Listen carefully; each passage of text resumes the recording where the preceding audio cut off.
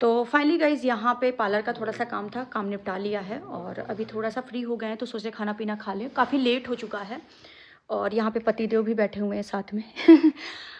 और बहुत लोगों का बहुत कंप्लेन भी मुझसे है, बहुत लोगों की बड़ी शिकायत भी मुझसे है, बहुत लोगों के बड़े क्वेश्चन भी मुझसे हैं कि दीदी आप क्यों मतलब इन सब चीज़ों में आ रही हैं? आप इन सब चीज़ों से बाहर निकल जाइए, फलाना ढिमाका। आप लोग बहुत पॉजिटिव वीडियो बनाते थे, आप लोग नहीं अच्छा लग रहा आप लोगों को ये सब चीज़ों में देख करके। तो पहला तो डियर मैं बाहर ही हूँ। मैं, ऐसा कुछ नहीं है कि मैं किसी, में घुसी हुई हूँ या कुछ भी है। अब जैसे होता नहीं कि आप सोशल मीडिया पे हो तो थोड़ा सा इफ़ेक्ट होता है कि आप सबसे बात कर रहे हो, कभी किसी का फ़ोन आ जा रहा है तो आप दस फ़ोन इग्नोर कर सकते हो, पर एक तो उठाओगे ही ना तो ऐसा भी होता है। दूसरी बात ये कह रहे हैं, मैं अपना ओपिनियन बता रही हूँ कि आप एक चीज़, आप यहाँ पर जो ऑडियंस है, एक चीज़ मुझे बता दीजिएगा। रिकॉर्डिंग रिकॉर्डिंग खेलना क्या अच्छी बात है? मैं बहुत बार इस चीज़ को कही हूँ और फिर से मैं एक चीज़ कह रही हूँ, जैसे आपको सपोज़ करो मेरे ऊपर कोई मुसीबत आ गई, कोई मुसीबत आ गई। मैं, आप जानते हो ना, जैसे कि मैं हर ब्लॉग में एक चीज़ कहती हूँ कि मैं स्क्रीनशॉट बहुत ज़्यादा बहुत ज़्यादा अपने आप को प्रूव करने के लिए स्क्रीनशॉट बहुत ज़्यादा मतलब रिकॉर्डिंग बहुत चीज़ें चीज़ें मैं नहीं मतलब सेव करके रखती हूँ। कल को मेरे ऊपर कोई मुसीबत आ गई, अगर क्या मैंने रिकॉर्डिंग नहीं की और मैंने कोई स्क्रीन लेके नहीं रखा है, या कोई मेरी रिकॉर्डिंग का मिस यूज़ कर है, कुछ भी कर रहा है तो क्या आप लोग मेरा साथ नहीं दोगे? क्या आप लोग रिकॉर्डिंग करने वाला और सबूत देने वाले का ही साथ दोगे। डियर मैं आपको बहुत सरल शब्दों में बताऊँ, जो लोग ऐसे हरकतें करते हैं ना, वो बहुत चीप होते हैं, उनका अपना कोई वजूद नहीं होता है और ऐसी हरकतें कभी नहीं करनी चाहिए। आप खुद सोचो, आपके रिश्तेदार, आप किसी से बात करो आप अपने फ्रेंड सर्कल में बात करो आपकी कोई रिकॉर्डिंग कर रहा हो, आप अपना समझ के उससे बात करो वो रिकॉर्डिंग करके सोशल मीडिया पर या वो किसी रिश्तेदार को बता देगा तो आपको कितना बुरा लगेगा। सोचो, यहाँ पर तो लोग रिकॉर्डिंग करके डायरेक्ट सोशल मीडिया पर डाल देते तो कितना लेवल उनका गिरा हुआ है। हमेशा मैंने पहले भी कहा था फिर से कह रही हूँ रिकॉर्डिंग करना सबूत दिखाना सोशल मीडिया पे बिल्कुल अच्छा नहीं है। अब आप लोग में से बहुत लोगों के क्वेश्चन का आंसर ये होगा कि सृष्टि दीदी आ, क्या बोलते हैं सचिन भाई का तो आप सपोर्ट कर रही हूँ। तो मैं फिर से हर ब्लॉग में बताई हूँ मैं सचिन का सपोर्ट बिल्कुल नहीं कर रही हूँ माइनस दो परसेंट भी नहीं कर रही हूँ।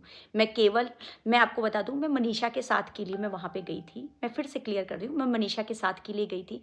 एक बात बताओ यार आप लोग में से यहाँ पर बहुत सारी शादीशुदा महिलाएँ देख रही होंगी ना? देख रहे हो? ना, आपके हस्बैंड अगर किसी को ऐसे आँख नज़र उठा के भी देख लेते तो आपको कितना कष्ट होता है? होता है कि नहीं होता है? होता होगा ना? अगर आपके हस्बैंड किसी की बात भी कर दे मज़ाक मज़ाक में तो आपको जलन होती है कि यार, इसने कैसे कह दिया, इसने कैसे कह दिया, आप लड़ बैठते हो। तो यार उस, उसको भी तो बुरा लगा होगा कुछ ना कुछ। और रही बात आप लोग में से बहुत लोग मुझसे कहते हो ना तुमने उसको बदनाम कर दिया तुम एक औरत को बदनाम कर दी सृष्टि दीदी आपने तो आयुष जीजू से शादी कर ली आप क्यों इन सब चीज़ों में आप दूसरे का घर बसता हुआ नहीं देखना चाहते? क्यों डियर मैं क्यों नहीं बसता हुआ देखना चाहूँगी? मैं तो ऑलरेडी बसता हुआ देखना चाहूँगी। हमेशा मैं बसता हुआ देखना चाहती थी भी। शायद आप लोगों को नहीं पता है पर मैं आपको बता दूँ मैं सामने वाले का भी घर बसता ही हुआ देखना चाहती थी। ऐसा नहीं है कि सृष्टि दीदी किसी का घर उजड़ा हुआ देखना चाहती मैं तो बहुत ज़्यादा चाहती थी कि उनका घर बसे। ऐसा नहीं है। और रही बात मैं कौन होती हूँ डियर बदनाम करने वाली? देखो ना मैंने कोई रिकॉर्डिंग लगाई है ना मैंने कोई आ, क्या बोलते हैं जैसे लोग तरह तरह के नामों से संबोधित उनको करते थे मैंने ना कभी ऐसा कोई हरकतें किया है। हाँ थोड़ा एग्रेसिव हुआ मैटर लेकर के, थोड़ा सा मनीषा को लेकर के हुआ भी होगा, थोड़ा सा, जैसे मनीषा, जैसे रो दी कुछ भी किया तो जैसे होता नहीं आपके सामने कोई भावुक हो जाता है, कुछ भी हो जाता है तो उसका दर्द महसूस होता है तो हो सकता है वो किया मगर एक मर्यादा में रह के किया है। इसका ये मतलब नहीं कि मैंने किसी को बदनाम किया है। बदनाम करने का मैटर ये होता है कि किसी का सबूत खेल रहे हो, किसी की रिकॉर्डिंग दिखा रहे हो, किसी का कुछ चीज़ दिखा रहे हो। किसी को बदनाम, मैंने बदनाम किया है डियर आप बताओ, मैंने बदनाम किया है। कितने रिकॉर्डिंग सृष्टि दीदी दिखाती, कितनी चीज़ें दिखाती, कितना सबूत दे रही है। कुछ नहीं। अगर आप मेरे चैनल पे जाके विज़िट करो, कायदे से मेरी सारी ब्लॉग देखो तो आपको कुछ ऐसा नहीं मिलेगा कि मैंने सामने वाले को बदनाम किया है।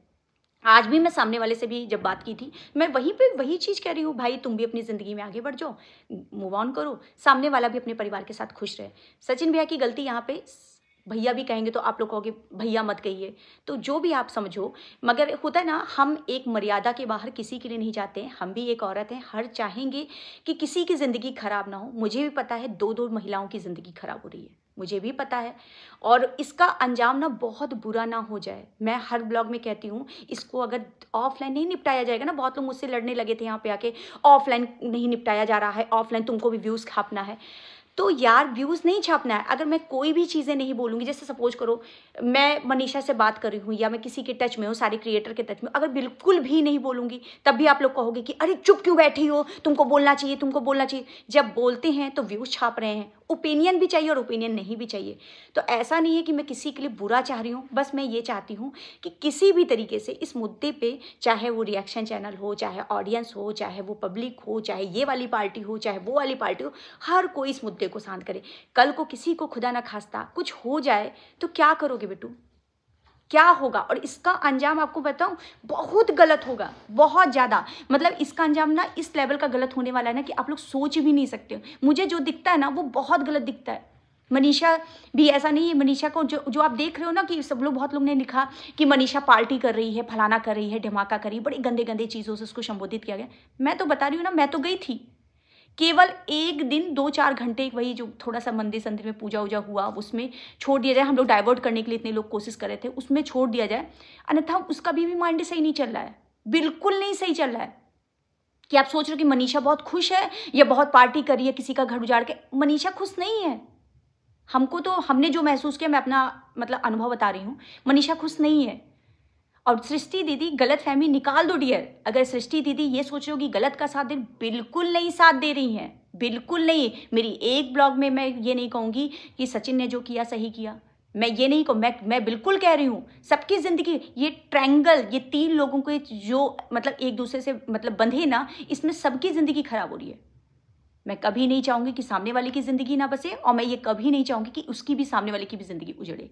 कभी मैं नहीं चाहूँगी मैं, और ये मैं हमेशा कह रही हूँ, पहले भी कहती थी, आज भी कह रही हूँ, और आज से सात महीने पहले से कह रही हूँ, ये जितना ड्रामा है ना रिकॉर्डिंग का, धमकी का स्क्रीनशॉट का, जितने भी क्रिएटर देते हैं ना, एक ना एक दिन ज़रूर भोगेंगे।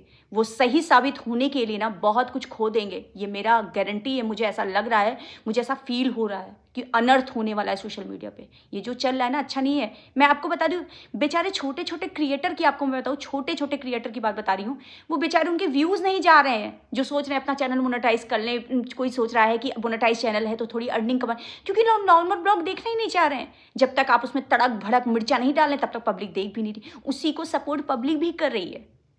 तो आप समझो, सृष्टि दीदी यहाँ गलत नहीं है, किसी एक का साथ सृष्टि दीदी एक तरफा आँख बंद करके साथ नहीं दे रही है। सृष्टि दीदी केवल एक महिला का साथ दे रही है। अगर एक महिला का साथ दे आप एक चीज़ आप बता दो, ये फ़ोन लाइक मतलब ये वीडियो एंड करते करते एक चीज़ आप बता दो।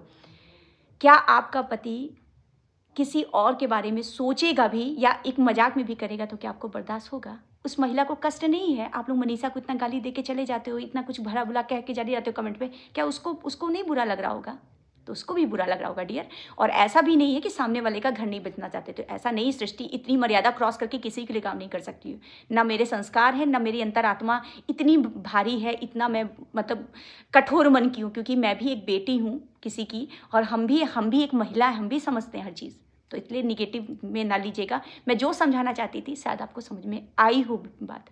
अनर्थ ना हो जाए, बस यही हम चाहते हैं कि बचा लो अनर्थ होने से, यार। आप लोग के हाथ में सब कुछ है। प्लीज़ समझो, सृष्टि को भी समझो और मेरे पति आयुष को भी समझो। चलो बाय बाय